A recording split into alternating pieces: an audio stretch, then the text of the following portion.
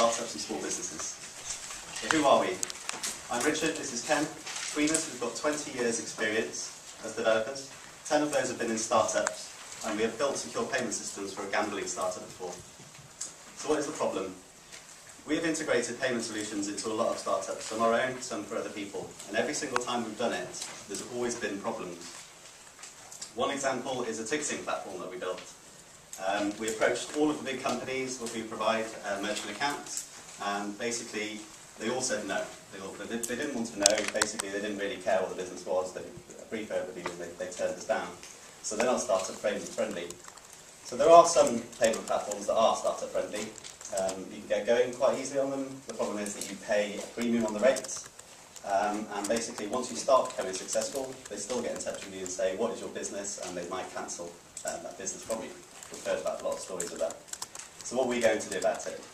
So we are targeting startups and small businesses.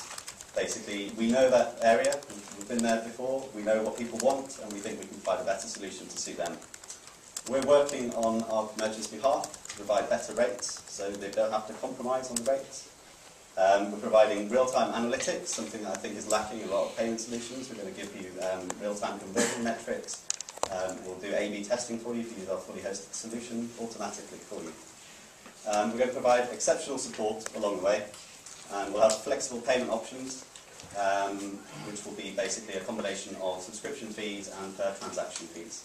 Uh, but depending on startup circumstance, they may want to go for one or the other.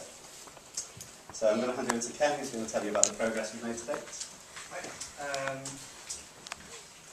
so Subsify, we've bootstrapped to date. Um, we've been working mostly in our spare time. Um, our core focus has been building a prototype of Subsify. So I'm going to jump straight into a quick screenshot demo. Um, so this is uh, the ticket drop, that, um, which is a gig um, event selling a ticket site. So if count was an event, um, there, there would, would be £30 each. And uh, we were to go through, continue to payment, so ready to pay, go through to a payment page, enter our credit card details, and done, we paid. So that's really easy for the user, that's what it should be. But for the developers and merchants to build something like that quickly is actually quite difficult. It's really time consuming, and you know, it just isn't, isn't easy to do. There's three core packages we're going to offer, so hopefully hosted solution, which Ticket Drop is using. Um, it allows the merchant and uh, developers to create an account and in a very short space of time be able to start accepting payment immediately. Um, and as a customer grows with us, we'll allow them to, um, say want better user experience, they want um, to hold data themselves, process more themselves, and to do that they need to pass a lot of security compliance rules that the, the, the law requires them. And this is where we come in, We'll provide technical support and security guidance to help them achieve that. Um, we're going to face quite a few challenges in doing this, um, so there's a lot of risk involved, so I'll pass you guys Cool. So what are the barriers to being able to offer this solution? So uh, in conversation, fraud always comes up first. Everybody wants to know what are we going to do to combat fraud. Well, in the market that we're trying to target specifically, um, it's usually quite low fixed amounts. Like if you want a subscription to a website, it's usually $30 or something like that.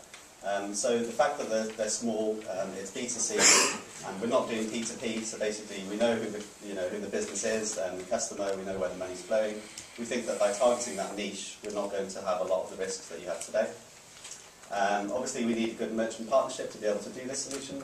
Um, we've been talking to a potential strategic partner, and we're probably going to be able to go ahead with them very soon. Um, so obviously, another part of the risk is our competition. So the three at the top uh, I've already spoken about. Basically, those are the people that we approached, and they turned us down, apart from PayPal, obviously. Um, the ones at the bottom, these are targeting the same market as us, but um, with all of those, you still need to have a merchant account and payment gateway, which is the problems that I mentioned earlier. So that's us with Subsify, the easy way to take online payments for uh, small businesses and startups. Um, we've already been approached by a few uh, people um, looking to use this business already. Um, some of them are already here. Um, and uh, we're looking for advice on law, finance and marketing specifically, but any feedback would be welcome. Thank you.